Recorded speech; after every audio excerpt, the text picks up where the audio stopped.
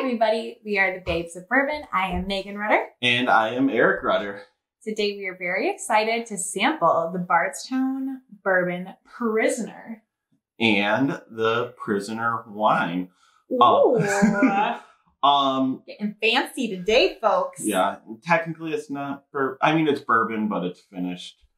So because Bardstown's up honest, upfront and honest at all times, technically sure they call it whiskey instead of bourbon, but it's bourbon and then it's finished in wine barrels, so they call it whiskey. That is interesting. Mhm. I actually did not know that. As I, you guys may notice about me at this point if you've watched some of our videos, I am so bad with like little details.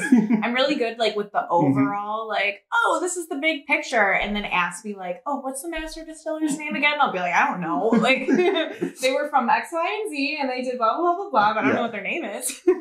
But yeah, there's a big uh, contention in the whiskey world whether if bourbon finished in um, Wine barrels, wine barrels or rum barrels is really bourbon or not. Um, really? yeah, so That's interesting. Bardstown's up front. Then they just call, call it whiskey. whiskey. Yep. That's nice. hmm But um yeah, so we think they don't really disclose what um whiskey they're using, like which brand, Yes, but we're pretty sure it's Dickel. yes, it's a Tennessee whiskey, they call it a Um, Tennessee whiskey. and the mash bill um, lines up with what Dickel is. So I'm pretty sure it's that. yeah, So, um, that's our best guess. And then Yeah. of course, like Eric just said, finished in the Prisoner um wineries, red wine barrels. mhm. So we have their um, red wine. This one is a blend. Um, the guy at Total Wine, where we found it, said it's kind of like a Zinfandel. He said yeah, I think that's kind of like a Zinfandel, but it's it's a mix for sure. Yep. Um, and the picture on the front is the same that's on the back of the bottle. So we're 90% sure. we picked the right bottle. Yes. Because there were two different ones, and luckily one was out of stock, so we went with this one. but Megan loves wine, so we I just wanted love wine. to see, try the whiskey and then see if there's any similarities. Yeah. Exactly. Um, because as we're going to get into it with the tasting, this is a very unique whiskey. hmm Um, and we have tried other like wine finished bourbons. Didn't we do the like series of that? Yes, we did Yeah. in January. Yeah. Which I totally remember.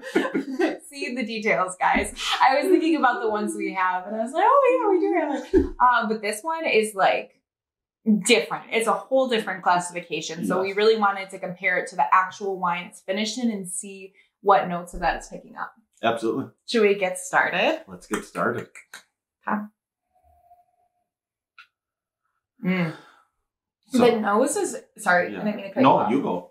The nose is really interesting to me hmm because the first time we did nose it, um, I personally get a little bit of like nuttiness. I get Mhm. dark fruits, but there was like something on it that I couldn't place. And Eric was like, Megan, it's red wine. And I was like, oh my gosh, yeah. like I knew it was finished in red wine barrels, but I did not like think it's gonna smell like red wine a little bit, but just a little at the end of it. hmm But yeah, I am getting those nuts still that you're talking. It's Mhm. not as pronounced as when first opening the bottle. Mhm. Um, and then I'm getting, I'm going to say plums. Ooh, it does kind of smell like plums a bit. Mhm. Maybe a little bit of strawberry, Mm-hmm. like very light, very aromatic strawberry. It's very fruity. It is. It is. And if you have had red wine before, which most people in their life have, hmm um, when you're drinking a red wine, there's usually that bit of dryness right at the back of your throat. You almost kind of get that in the nose. There's like Mhm. something just right at the end hmm that's like I don't know how a smell can be drying, but it has like you know how your mouth and your nose are connected. It has like that effect on me. I really enjoy the smell on this. I could Yeah. nose this Yeah. quite a while. It's like the nuttiness with the red fruity. Fruit and the wine finish. It just needs a little cheese in there. And then Yeah. like oh my gosh, this would be board. so good with cheese. If you ever had like a cheese board and you're having people over Mhm. and they don't love wine but they like whiskey, this would be an amazing pairing. Mhm. Um, yeah, we should probably take a sip. Oh, Absolutely. disclaimer, guys. I think this is a polarizing bottle. Mhm. I think people are either going to love it or they're going to absolutely hate it. And I'm not sure that there's an in between with those. Do you agree? Yeah, Yeah. I would agree.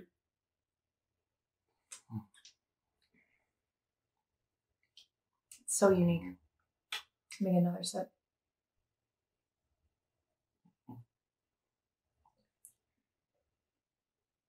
Wow. That was my first sip of bourbon of the day. So I really needed to get multiple before. Yep, this is 100 proof, so not super high, but not super low either. So, It's a good, good Yeah. starter for the day. um, I am getting a lot of those fruit notes. Oh, yeah. Um, Tons. almost a little cherry. Um, Yeah.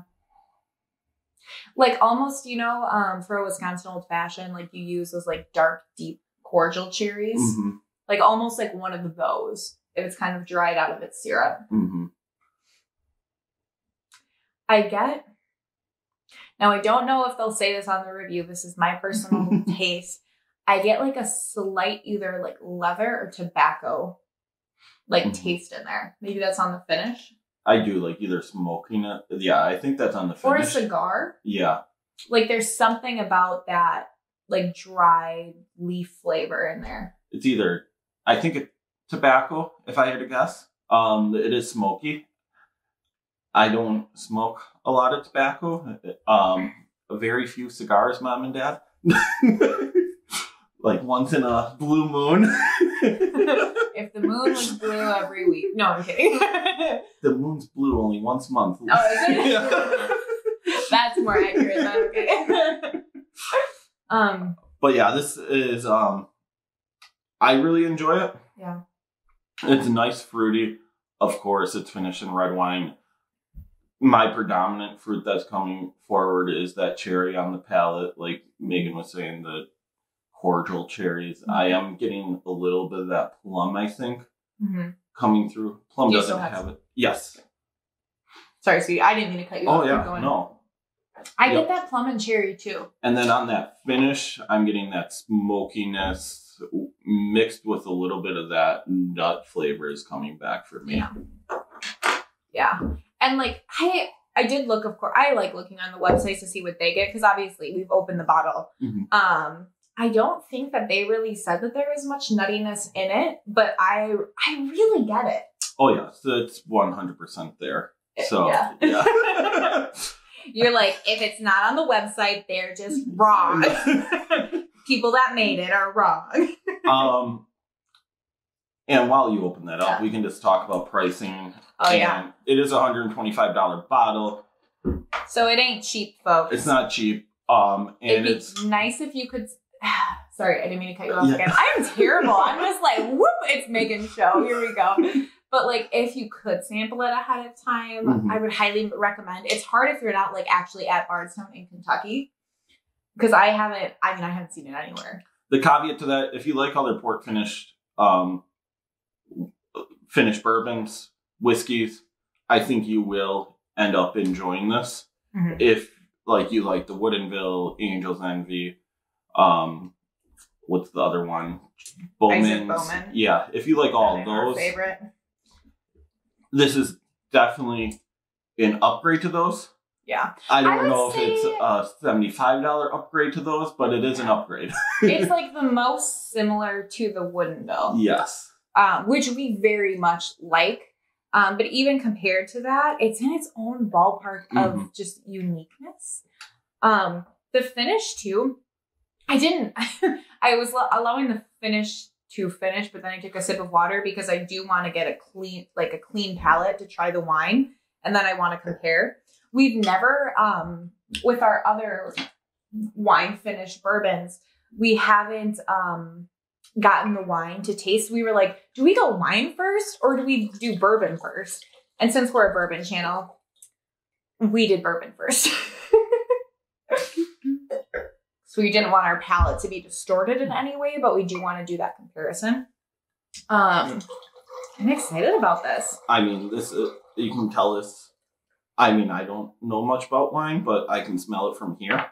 So I feel like it's a Mm, quality wine. that really is. Quality. like a koala bear. Cheers. Cheers. I'm excited. Wow. Okay, so this to me is really interesting because I'm getting so many dark fruits off of this that Mhm. I could smell in that. Like Yep. this wine is just a punch in the face of cherry, strawberry, plum. hmm Like really, really fragrant in a wonderful way. This is one of the best smelling wines I've ever. I don't drink a lot of red wine, disclaimer, but I really love the smell of this. And when you're going back to nosing the whiskey, it really It comes out in there. Yeah, it does. That's and that's pretty cool too to know that like obviously things that are finished, they're finished in those Mhm. barrels for a reason. Mhm. But whoever decided, hey, we're using prisoner red wine barrels, Mhm. like to shake their hand and say thank you. Yeah. I really love what Bardstown's doing there, like pairing up with these companies um, that are recognized in their own spirit wine world Yeah. and um, yeah. pairing up with them. That's awesome.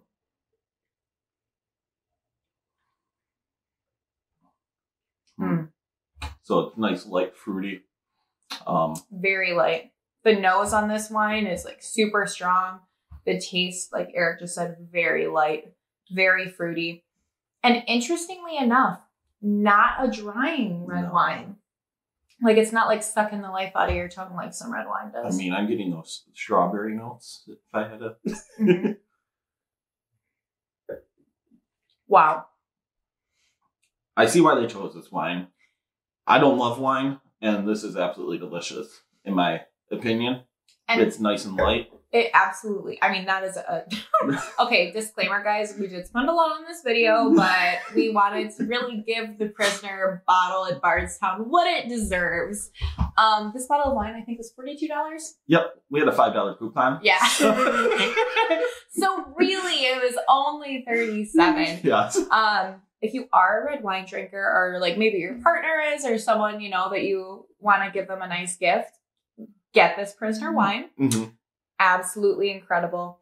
Um, it's so interesting to me that the nose on it is super strong, but the flavor profile is very light, very drinkable, doesn't dry out your tongue. And when we go back to the bourbon, you're getting like that same nose, like those same fruity flavors, and you're just getting the, the lightest taste of it at the back of your tongue. And what I would say is really interesting. This smells really dark. Um, it has those dark notes up front. The bourbon. The wine, Oh, the wine. but the whiskey does too. But then when you go to drink the whiskey, I'm getting more of that strawberry, um, lighter notes, and then it gets followed up with that tobacco Mhm. nuttiness Mhm. finish. And what's interesting to me is I just took wine, water, bourbon, and usually I've done this before where I was drinking red wine, and then um, Eric was drinking bourbon, and I finished my glass, and like he gave me some of his bourbon, and it tasted disgusting. It tasted so bad. This to this actually is Mhm. really good. Like it enhances the flavor, which is like okay. Obviously, you came from those barrels, so it's a good thing you Mhm. enhance the flavor. So, This is fun. This is so experimental. This is probably my favorite video because I love red wine. should we get the scoring? Yeah. All right. Um, nose. Do you want to go first? I'm thinking. Okay. Um, I can go first then. Yeah. Um, for me, it's the favorite part of this whiskey. Um, I really think it smells good. I'm going to give it a 1.5 out of 2. I like that fruitiness and the dark fruit coming through. I am also going to give it a 1.5 out of 2. I think it is incredibly unique. Um, I think it's really distinguishable too. Mm-hmm. Um, I hope that's a word, distinguishable. um, but it's like you know how sometimes you like know it's a bourbon and you're like, I can't get anything. It smells like bourbon. Like this one, it kind of is a boost of confidence because you can actually pull out different Mm-hmm. flavor profiles in the nose, which is really fun for me. Yes. Um, and it's just unique. All right. Taste. Taste. out of 3. I am going to give it a 1.5 as well here. Um, I really enjoy it. Um, it is one of my favorite Finnish um, whiskeys Mhm. in red wine. Um, yeah, I just enjoy it. I think it tastes really good. Um, maybe wish there was a little more to it. I don't know. Uh, let's give it a one point seven five because there, 1.75. yeah, there is a lot there. Well, and like disclaimer, like Eric said, he doesn't really drink a lot of wine. Mm-hmm. So for you, you have you like more of like a smoky profile Mm-hmm. where it's like this is a good bourbon, but it may just not be for him. Um, for me, I'm gonna give this a two out of three. Very nice. Um, like we said, I think it's flavorful. I think it's fun. I think it's interesting to have that wine in there. Um, why I'm not giving it the full three points or anything over two is that like the prisoner is something that I would pull out and I would have one pour of, and I'd Mhm. really enjoy that one pour, but it's not the bourbon or excuse me, the whiskey that I would drink like the whole day. Mm-hmm. Not that I would drink bourbon for a whole day, guys. that doesn't happen in this household. Um, sometimes. But it's like it would be like a one and done for me where this is like a showstopper, something to pair with like a steak, a Mhm. cheese board, something like that, rather than I could drink this all night. Which is good at one hundred twenty five dollars. You're not going to go. yeah, through that you don't want to go through it too quickly. Um, finish. Out of two. I really enjoy the finish. I do too. Um, I like that nuttiness, um, smokiness. I it actually brings the bourbon roots back. Mhm. Um, I am going to give this a one point five on the finish as well. I am too. Um, I think like what Eric just said, the like the finish is long lasting. It's very similar to the nose, Mhm. which I'm not sure if that's like a red wine finish thing, but the nose and the finish, you're getting the same flavors for the most part, which I don't usually have that happen with Mhm. bourbons and whiskeys. So that's pretty cool. All right. Pricing and availability. This one's hard. I'm just gonna say out of three, it's gonna be a one Yeah. because it's expensive. You can't really find it. Um, I don't know if this bottle is going to be like mass produced and readily available year to year, but I highly doubt it based on their other Mhm. um products. and I don't know if it's for everybody. Um, Yeah.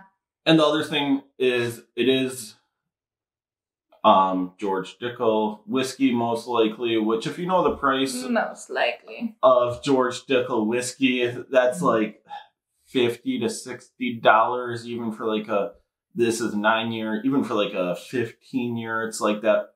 I know they released that fif- uh, fifteen single barrel, which is like sixty dollars about, and they're finishing it in a wine barrel for eighteen months and charging one hundred and twenty five dollars.